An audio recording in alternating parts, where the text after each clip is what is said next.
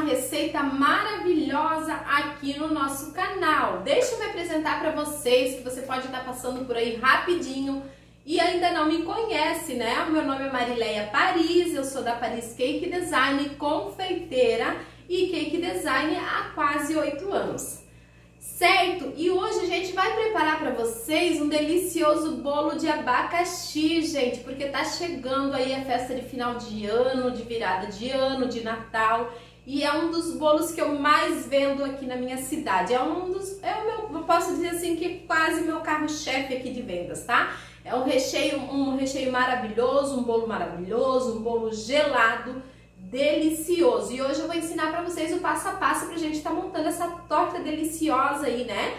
E vocês vão adorar. E eu já quero pedir para vocês aí que se você tá passando por aqui, você não é inscrito no nosso canal, dá uma olhadinha aí nos vídeos que a gente tem bastante coisa, bastante conteúdo aqui no canal e tá entrando muita coisa mais. O nosso canal tá crescendo, tá sendo uma bênção. Então, se você gostar da gente, gostar do nosso conteúdo, não esquece de se inscrever aí, dar um like aí para ajudar a gente na divulgação do vídeo e compartilhe os vídeos que vocês gostarem aí com mais pessoas. Ok, amores? A gente vai iniciar a nossa aula preparando a nossa caldinha de abacaxi caseira, certo? Vocês podem usar abacaxi de é, aquelas enlatadas, aquelas marcas boas também, né? Mas eu vou ensinar para vocês uma receita caseira, certo? Então eu vou mostrar para vocês um pouquinho aqui de como a gente vai preparar essa calda. Então, amores, nós temos aqui é, uma abacaxi inteira. Eu descasquei ela, né? Tirei, procurei tirar aqueles, aqueles pontinhos preto, o mais grosso que tinha ali, né? E agora nós vamos picar ela, tá? Essa parte aqui eu já tirei esse carocinho grosso do meio e a gente vai fazer a mesma coisa com essa daqui, tá? A gente retira essa parte aqui e vamos picar o nosso abacaxi no, no tamanho que vocês acharem necessário aí pra para estar tá recheando o bolo de vocês, tá? Eu vou picar ela nem muito miudinho e nem muito grande, certo? E a gente vai utilizar aqui, é, para um abacaxi, pode ser o abacaxi pérola, aqueles abacaxi mais gostoso, né? E o meu abacaxi, ele não tava verde, ele tava bem, não muito maduro também, mas já tava saindo um cheirinho de abacaxi, assim, gostoso, certo? É, eu vou utilizar aqui uma xícara e meia de açúcar, que nós temos xícara de 200 ml, certo? E eu vou utilizar aqui 400 ml de água, tá? Então eu vou fazer com água porque eu quero uma caldinha, porque eu gosto de molhar o meu bolo com a própria caldinha do abacaxi. Então eu vou cozinhar na água para mim já tá utilizando essa água para fazer a nossa caldinha, certo? Então eu vou picar, lembrando que tem que tirar o miolinho aqui, né? Esse miolinho duro do abacaxi. E eu vou picar ele e vou mostrar para vocês a hora que a gente vai levar pro fogo, tá bom?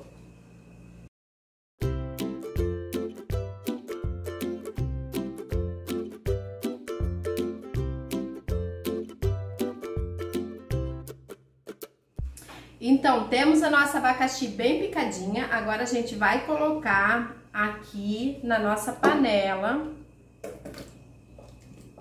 Vamos colocar o açúcar, a gente não vai mexer, tá? Depois que nós colocar o açúcar aqui, vamos colocar o açúcar, vamos colocar a água e vamos levar lá pro fogo. E vamos deixar ferver por um tempinho e depois a gente só vem fazer um movimento lá e a gente precisa deixar cozinhar muito bem. O nosso abacaxi tem que ficar amarelinho e naquele aspecto meio que transparente assim, para ele tá pronto, gente. Porque se a gente não cozinhar bem isso aqui, ele amarga, certo? Então tem que cozinhar bem, tá? Eu faço dessa maneira, funciona super bem e é assim que eu vou passar para vocês. Eu vou colocar aqui a, o açúcar vocês podem usar o açúcar cristal, tá, gente? É melhor ainda, tá? Ele é bem mais recomendado, ou açúcar demerara ou açúcar mascavo, tá? Pode utilizar. Eu vou usar esse aqui porque eu não tenho nenhum dos dois hoje, tá? Mas é, é perfeito. Vamos colocar a água e vamos levar lá pro fogo e depois, quando ele já estiver fervendo, eu vou mostrar pra vocês o resultado lá no fogo, certo? Ó, então a gente colocou aqui, ó, vocês podem ver que ela já tá começando a ferver, tá? Aí eu vou colocar em fogo baixo, tá bom? Então, gente, olha só. É esse resultado aqui que nós precisamos para nossa calda tá cozida, tá? O nosso abacaxi cozinhou bem, bem, ele tá bem cozido, bem molinho. Agora eu vou desligar, vou colocar numa peneira, ficou aqui por aproximadamente uns 50 minutos, tá? Depois que começou a ferver. Agora eu vou desligar, vou colocar numa peneira para deixar ele escorrer bem e eu aproveitar minha caldinha e depois eu volto pra gente montar o nosso bolo. Então, amores, depois da nossa calda de abacaxi pronta, daqui está o resultado, ela já tá geladinha, tá? E sobrou isso aqui de calda pra mim, tá? Que eu vou estar tá colocando um pouquinho de água pra complementar aqui, pra não ficar tão doce a minha calda, tá? A aguinha gelada que eu peguei lá do filtro, você pode usar água mineral, água fervida, certo? E é o que a gente vai utilizar, vou mostrar pra vocês aqui os ingredientes que a gente vai utilizar, tá? Eu vou estar tá montando é, um bolo aro 23, certo? Eu vou estar tá usando essa massa amanteigada que tem aí no canal. Olha só, é uma massa muito fofinha. Essa massa, ela tá aí no canal, depois eu vou deixar o link na descrição do vídeo para vocês. É massa amanteigada, né?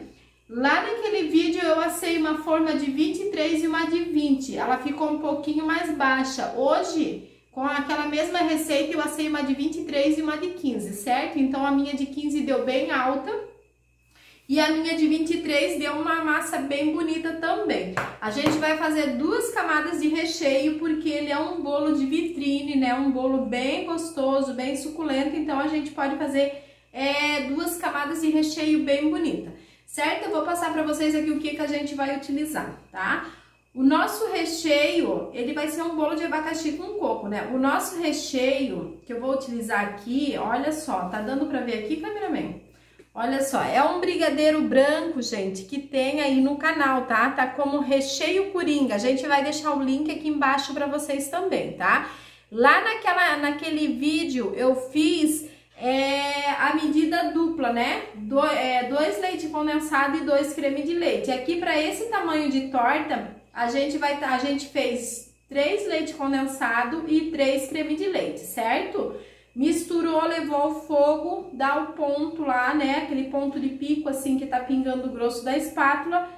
É o recheio que nós temos aqui, certo? A nossa caldinha que nós preparamos ali no início. Aqui eu tenho é, 150 gramas de coco ralado, tá? É o coco desidratado. Se vocês quiserem usar coco fresco, vocês não precisam fazer o processo que eu vou fazer aqui, que vai ser agregar leite de coco aqui, certo? Então, aqui 150 gramas de coco ou duas xícaras de 200 ml cada. Eu tenho a minha aguinha aqui que eu vou usar para colocar na calda. Eu tenho aqui um vidrinho de leite de coco de 200 ml certo? Aqui eu tenho as cerejinhas, sete cerejinhas que eu vou usar para decorar em cima. A nossa massa de 23 centímetros, branquinha. E a gente vai começar a montar. E eu primeiro vou começar aqui, eu vou montar o bolo na forma de, de decorar para ele ficar bem certinho, né? Eu vou começar aqui agregando o meu leite de coco aqui no coco. Por que que eu vou fazer isso? porque eu estou utilizando coco desidratado. Mas se vocês forem usar coco fresco, vocês não precisam fazer isso. Vocês só utilizem a quantidade de coco fresco, certo? E a gente dá uma mexidinha aqui para ficar com aquele gostinho bem forte de coco mesmo, né? O nosso recheio. Então, por isso que eu tô utilizando leite de coco. Como ele é desidratado, a gente dá uma hidratadinha nele aqui no próprio leite de coco. Olha só. Mexemos bem. Dei uma misturadinha, agora eu vou deixar ele descansando aqui um pouquinho por aproximadamente uns 5 minutinhos só para dar uma hidratadinha e a gente já começa a montar o bolo, certo? Enquanto isso, eu já vou ajeitando a minha massa aqui na, na minha forma, tá?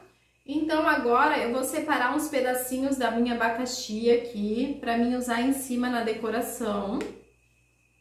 Se vocês quiserem, quando for fazer a calda, vocês podem até colocar uma fatia inteira de abacaxi para usar na decoração depois, tá? Eu vou separar uns pedacinhos aqui só porque assim, gente, Quando a gente vai fazer um bolo de vitrine, a gente precisa colocar em cima, usar na decoração, as informações do nosso do sabor do nosso bolo, do recheio do nosso bolo, né? Se é de morango, colocar uns morangos em cima, né? Do, o que for, a gente precisa colocar é, em cima do bolo para identificar o sabor do bolo. Isso é quando é bolo de vitrine, certo? Agora, vamos misturar o nosso coco. Vamos passar para um bolzinho maior aqui, né? Já deixamos descansar um pouquinho.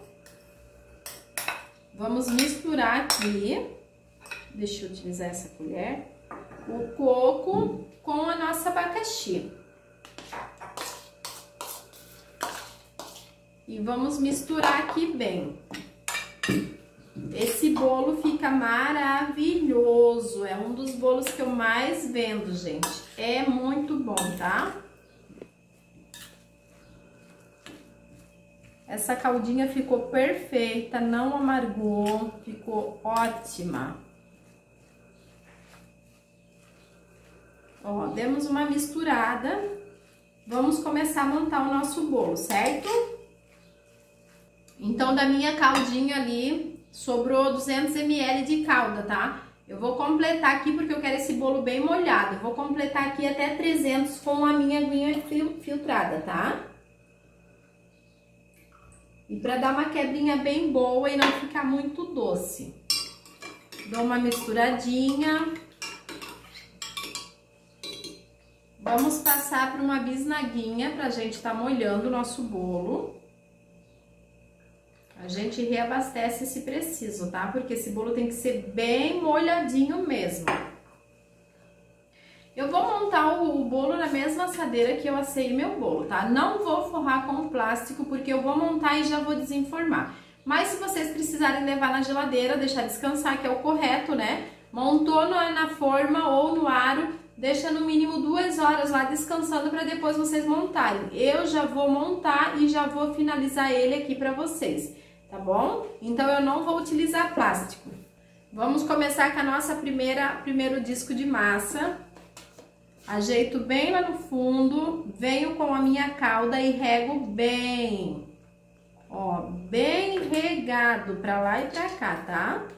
Porque o segredo desse bolo é ele ser bem molhado, certo? Agora eu vou pegar o meu recheio uma parte do meu recheio, vou colocar aqui no fundo. Vou dar, vou dar uma espalhada, certo? Ó, espalho bem.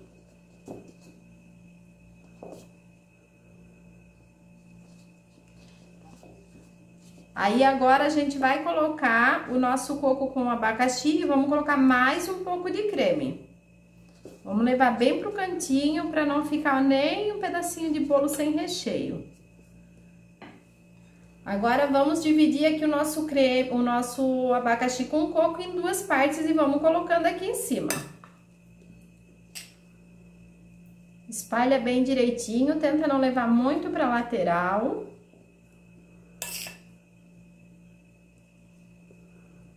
E esse bolo aqui com certeza vai arrancar suspiro aí das pessoas que provarem esse bolo, né? Tanto os, seu, os seus clientes como as pessoas da família que vocês fizerem aí para provar.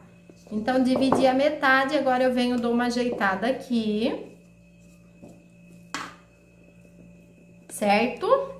E agora, vocês viram que eu usei essa pontinha aqui lá para baixo do recheio. Então, eu pego e divido o meu recheio bem aqui no meio, e essa outra parte aqui eu vou usar aqui em cima desse recheio. Aí a gente vai colocando de colherada assim. Ó, colocamos de colherada assim e eu usei meio a meio, né? Metade eu usei aqui e a metade eu vou utilizar na nossa outra camada. Agora eu pego a colher com cuidado também e ajeito. Gente, pensa na delícia quando cortar esse bolo, na fatia desse bolo, como que vai ficar maravilhosa, né? Com essa camada de coco e abacaxi no meio, fica uma coisa maravilhosa. Olha só.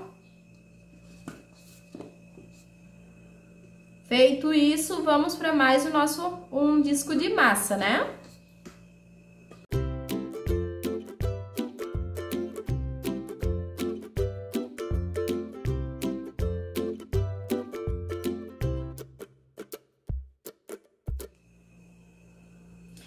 Então, aqui está montadinho o nosso bolo na nossa forma, tá? O certo é vocês levarem para geladeira no mínimo duas horas, tá? Deixa no freezer lá por no mínimo umas duas horas para vocês virem finalizar ele. Ou você pode também rechear e deixar de um dia para o outro para decorar de um dia para o outro, certo? Eu já vou desinformar aqui, né? Porque é um vídeo aqui, eu já vou desinformar para vocês mais rápido, mas vocês vão ver como o recheio também funciona e não tem perigo de desabar, desabar tá? Então, amores, eu havia falado para vocês que eu não ia deixar o bolo na geladeira, mas acaba que eu deixei o bolo uma hora lá no freezer, certo? Preferi deixar para desenformar ele bem geladinho.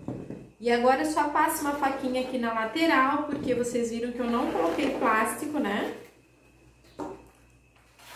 Vou desenformar num disquinho, porque depois eu vou passar esse bolo para um suporte de cerâmica, então eu vou desenformar ele no disquinho.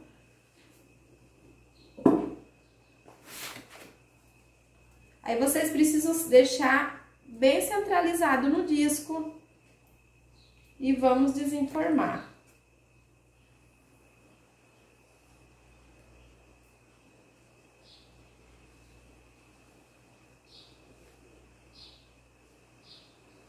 Desenformamos, agora nós vamos dar uma ajeitada no nosso recheio. Eu não utilizei é, um plásticozinho, né? Mas olha só, o recheio ele fica bem firme, tá? Vocês não precisam se preocupar. Agora, para cobertura, nós vamos utilizar chantininho, tá? Eu já tenho meu chantininho texturizado aqui. Se vocês quiserem a receita desse chantininho, tem aí no canal, tá? É o chantininho normal, não é o power, tá bom? Eu não gosto de usar o power para bolos de vitrine. Agora vamos lá, eu coloco bem no centro o meu chantininho e vou espalhando.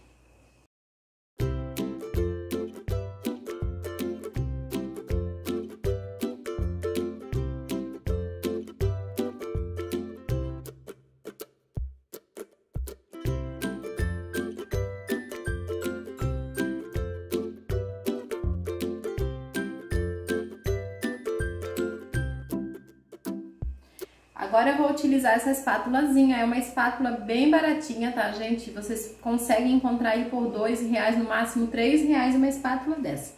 Vou colocar ela inclinadinha e vou só girar minha bailarina.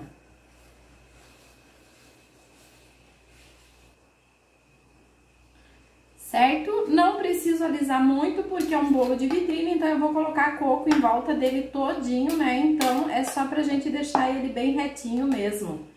Agora eu vou fazer a esquina dele, dele aqui, sempre de fora pra dentro, certo? Com a mão bem levinha, tá?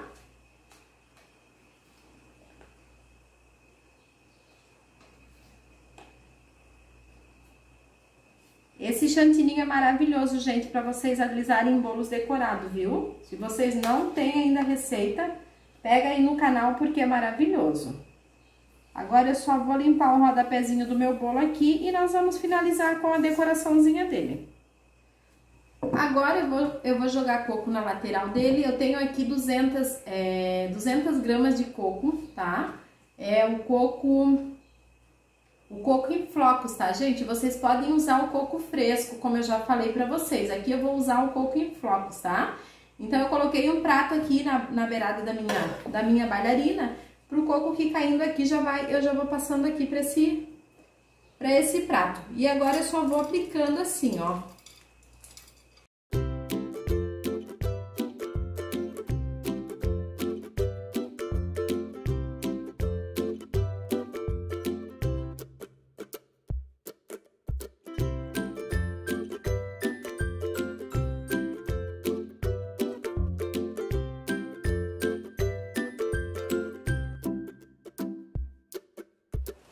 Agora eu vou pegar a espátulazinha e vou empurrar o pezinho do meu... Arrematar aqui o rodapé do meu bolo. Pra empurrar esse coco tudo pra dentro aqui, tá? Pronto, feito isso, agora nós vamos fazer a nossa decoração. Então vamos lá, agora eu vou usar os pedacinhos de abacaxi e as nossas cerejinhas para nós fazermos... Vou usar as nossas cerejinhas para nós fazermos a decoração, certo? E os pedacinhos de abacaxi que eu havia reservado.